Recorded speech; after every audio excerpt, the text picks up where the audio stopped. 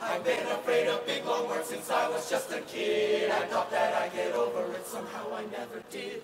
Usually it's no big deal, but every now and then You're audaciously loquacious. Ah, he kicks in again. Well, I went to a specialist and said, what's wrong with me? Based upon your test results, it's not too hard to see. You're afraid of lengthy words, you're not the only one. Here's what your condition's called, but this won't be much fun.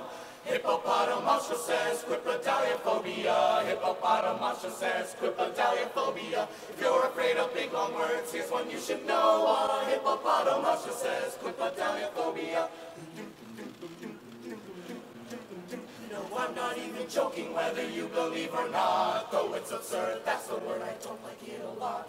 There's one thing I know for sure, so listen if you please. Whoever came up with the word did not have the disease.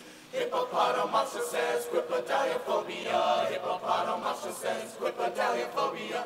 You're afraid of big long words, here's one you should know. Uh, hippopotomonstrosesquippedaliophobia.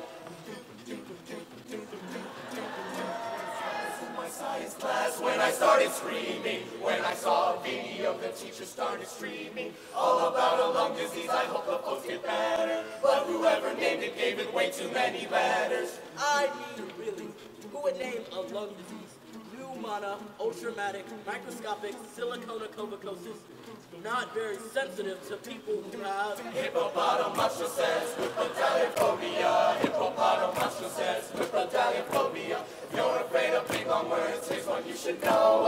hippopotamus says "With quipedaliophobia.